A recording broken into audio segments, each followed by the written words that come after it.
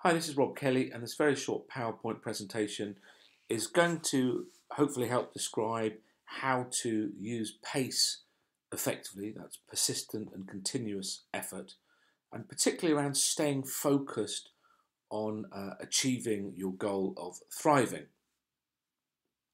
So, this is for someone who's been through the book, who's ready to apply themselves, any of the books in fact, and is ready to apply themselves now on a six or eight week program of getting themselves thriving, overcoming the symptoms and getting themselves thriving. I quite often describe it as a journey. So I quite often describe it as a journey from Cambridge down to London. This is my journey from Cambridge down to London. And all I need to do if I want to get to London is just stay on the M11. I'm on this road, I'm on this track. It's a long road track, it's 70 miles, it's 80 miles. And all I've got to do is stay on this track and I will eventually reach my goal. You know, everything's going to be all right. I'm going to be thriving by the time I get to London. I've just got to reach London. So all I need to know is that I'm heading in the right direction and that I'm moving forward. It doesn't actually matter how fast I'm moving forward. If I'm utterly confident that I'm on the M11 and I'm heading south towards London, it is inevitable that sooner or later I'm going to get to London. Now, if I'm driving in a car, I'm going to get there in an hour. If I'm riding a push bike, it's going to take me four or five hours. If I'm walking, it might take me two or three days. If I'm crawling on my knees because I'm so slow, it might take me three weeks or even three months. But it doesn't matter because if you are confident in the knowledge that you are going to get there, What's three weeks if, if I've had my issues and my problems for 30 or 40 years? Most of our clients and trainees don't mind the fact it's going to take them six weeks, eight weeks, or even three months to get where they want to be. This is the next slide then with the rest of the clutter taken out.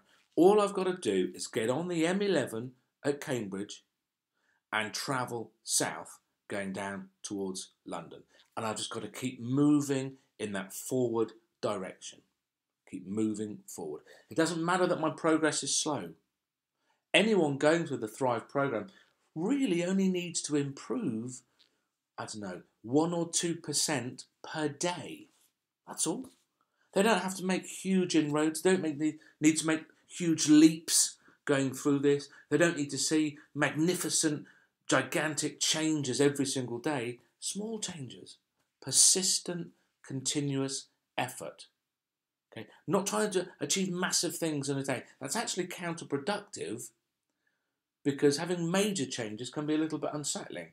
Small, understandable changes every day because I'm putting an effort and I'm recognizing where I'm changing. Today, I'm going to put particular effort in to manage my catastrophizing. And when I do that, I realize at the end of the day, been catastrophizing less. I feel a little bit better. It's absolutely predictable how I'm achieving success.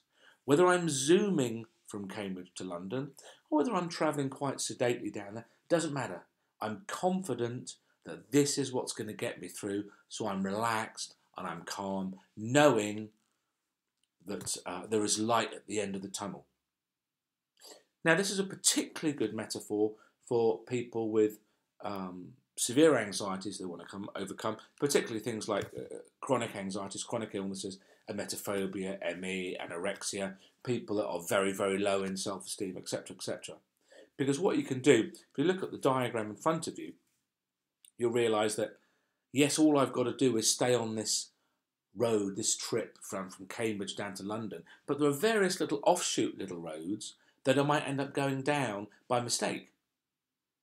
One thing that Lisa, the ex emetophobe, did incredibly well and, and really what made her as successful as she could be, overcoming emetophobia and alcoholism in just four and a half days, what she did, she didn't want to wake up in the morning, assume she's thriving, and then only really think about it at two o'clock in the afternoon. Then, oh God, I'm not thriving. I'm, I'm not being positive. Where's my list? I'm being catastrophic. I'm being negative.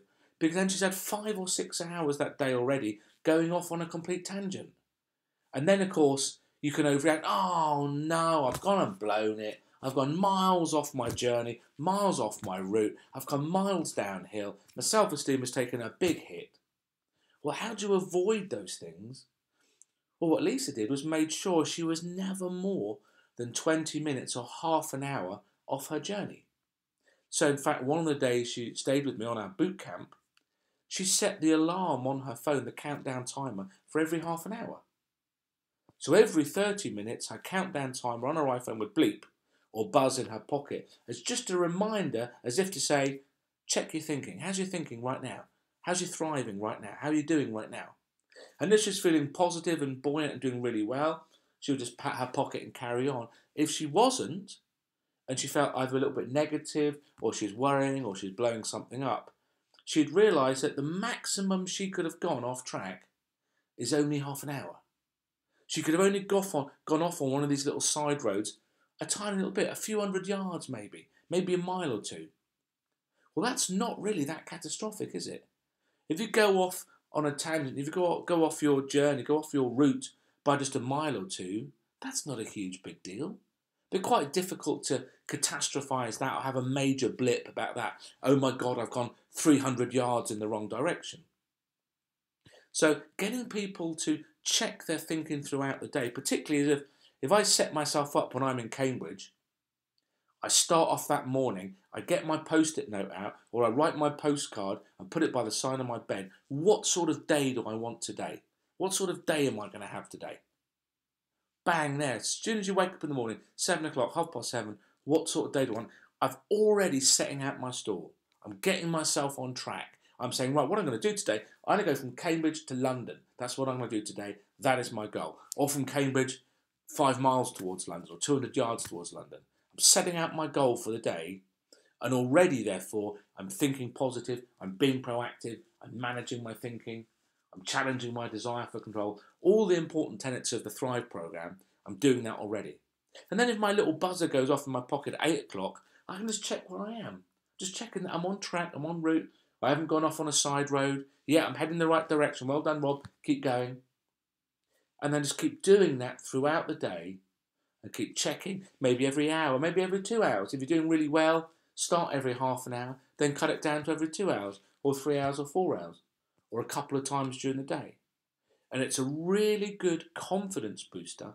It's a really good metaphor, particularly for, uh, let's call them clients with uh, quite um, intricate um, non-thriving issues. That is to say, they've got lots of different thinking styles. They've got lots of unhelpful beliefs. They're doing lots of things that are preventing themselves from thriving, and it's sometimes difficult to keep track of all those things. Well, of course, you don't need to.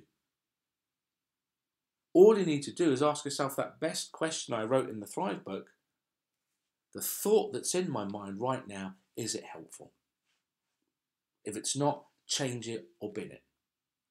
And that's a really good thing you can do every 20 minutes, every half an hour, every hour of the day, or even every 10 minutes if you're in a particularly bad way, and you can do it every 10 minutes. The thoughts that are in my mind right now, are they helpful? Or have I gone off, uh, off the map a little bit?